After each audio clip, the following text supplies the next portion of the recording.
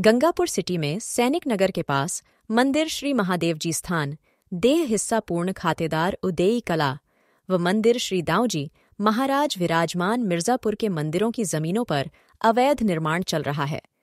जागरूक नागरिकों द्वारा तहसीलदार, उपजिला कलेक्टर सहित मुख्यमंत्री कार्यालय को सूचित करने पर भी मंदिर माफ़ी की जमीनों से निर्माण कार्य नहीं रुका।